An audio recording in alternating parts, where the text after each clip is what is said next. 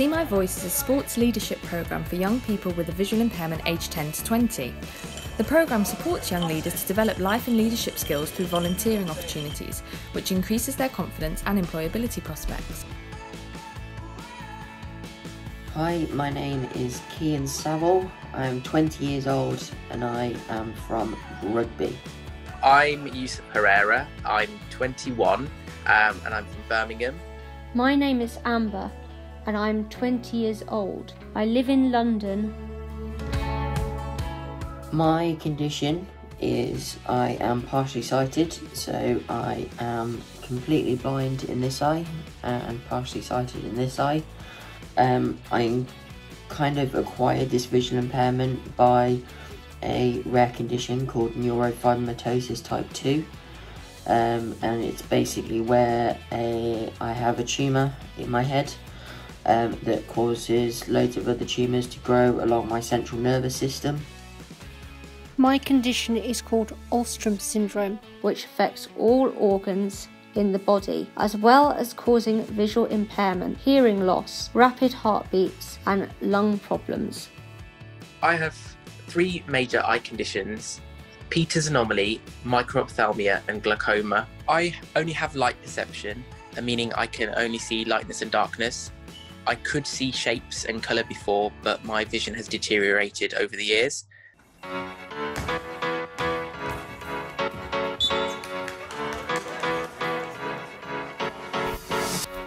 As part of the See My Voice programme, British Blind Sport hosts residential camps for the young leaders. These camps give the young leaders a chance to come together to share their experiences, learn new skills, and have fun.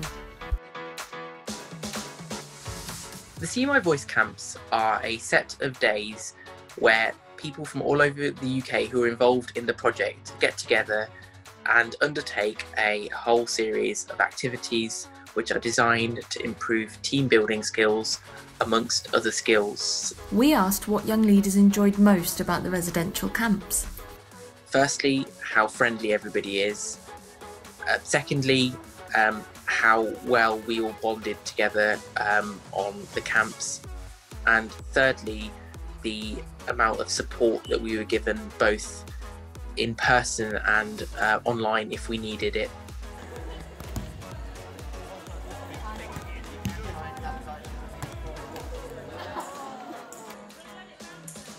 Whilst the See My Voice project is tailored towards helping young people develop leadership skills, it has also benefited the young leaders in numerous ways. The See My Voice project has really helped me develop as a person, and I can now safely say that I can get my voice out there that I want to be heard and what I want to achieve in life. I wanted to become more involved in sports and do more volunteering work. It helped me become more confident and flexible in different situations. It also helped improve my self advocacy skills.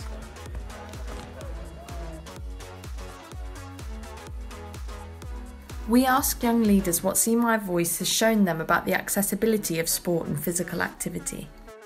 It is accessible even if you don't think it is. You don't even have to be particularly sporty, um, cricket's a great thing to do because you know if the ball is going to come towards you and hit you, you've got a big bat to hit it with. But you know, find a sport you feel comfortable with. Try lots of different sports and find the one that you prefer, and then persevere with that one.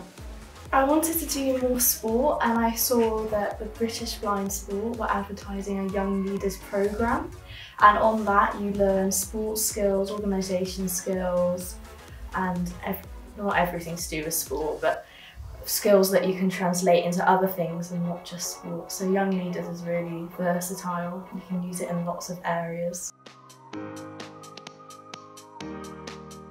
See My Voice encourages and supports young people to get involved in volunteering to develop their leadership and employability skills and to gain valuable workplace experience. I undertook the volunteering role of scorer um, for Goalball UK, um, and I have done this position numerous times throughout the past few years. I have volunteered with British Blind Sports Lord's Cricket Ground, the London Youth Games, Race for the Kids, which was a fundraising event for Great Ormond Street Hospital, and a Santa Dash on Clapham Common. I started as a coach for my swimming club to help um, the coaches out with just general coaching, getting equipment, stuff like that. I then basically went on to coaching my own para squad. Um, so we had a couple of people from um, the kind of para community come and join us.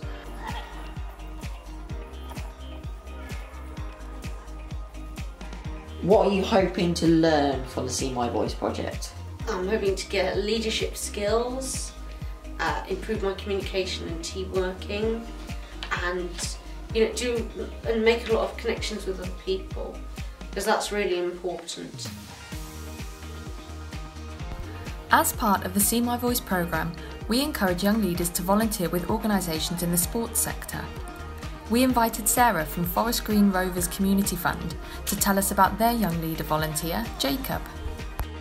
I've heard of the See My Voice programme through um, a young man called Jacob Tate who came to visit us uh, on an educational trip. Jacob got so enthused by his experience of coming to the club that he was keen to come on board as one of our amazing volunteers as part of our ambassador programme we also um, involved him on, on match days where he took part in an ambassador parade where he came out with the players um, as they came out at the start of the match.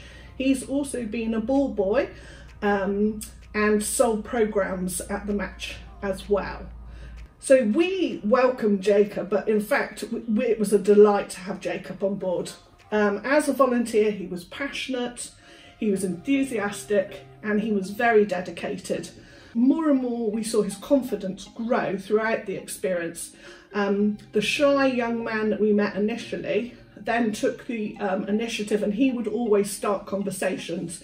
He got to know members of staff at the club and would come through reception and greet everybody in a really friendly way. We learned that there are no barriers uh, to participation whatsoever. Um, we made some very simple adaptations. So we talked to Jacob and asked him what his needs were. So when he uh, was ball boy and when he walked out, uh, we made sure that we had another person that accompanied him to give him confidence and to guide him as appropriate. So we saw great changes in uh, Jacob throughout the year and he is keen to continue with the programme this year. Um, so he will step up as a, a senior ambassador and take on uh, a role within our alumni hopefully and also within our existing ambassador programme. Um, we are definitely really open to inviting more um, participants and more volunteers uh, with visual impairments and any other disabilities. Uh, we've learned from his um, can-do attitude and that's really enhanced our programme. We have a num number of ambassadors with different disabilities, but this has proved to be a real asset uh, to our organisation and to our programmes.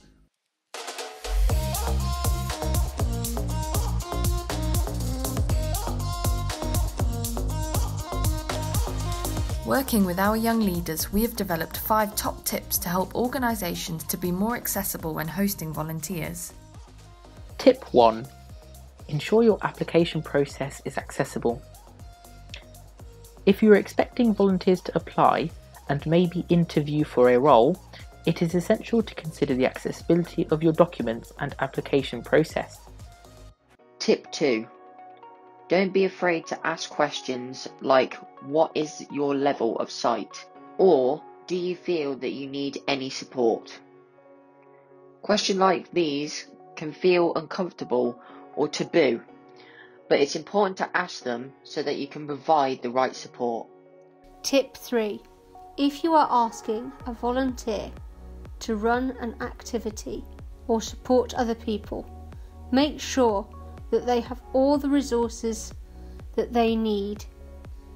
It's much easier for a volunteer with full sight to run over to a pile of equipment and pick out what they might need. Tip 4 See more than the visual impairment.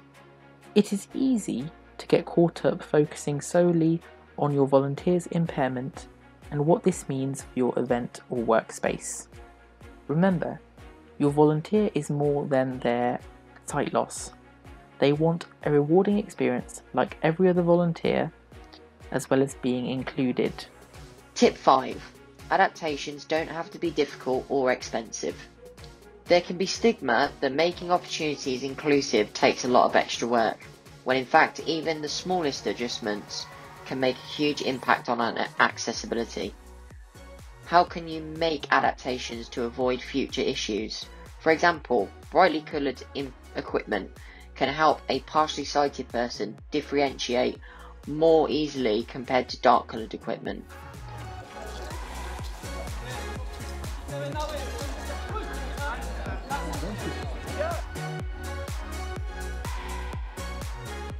Through See My Voice, we have reached over 150 young people living with sight loss. Over 90 young leaders have gained a qualification and they have recorded over two and a half thousand volunteering hours.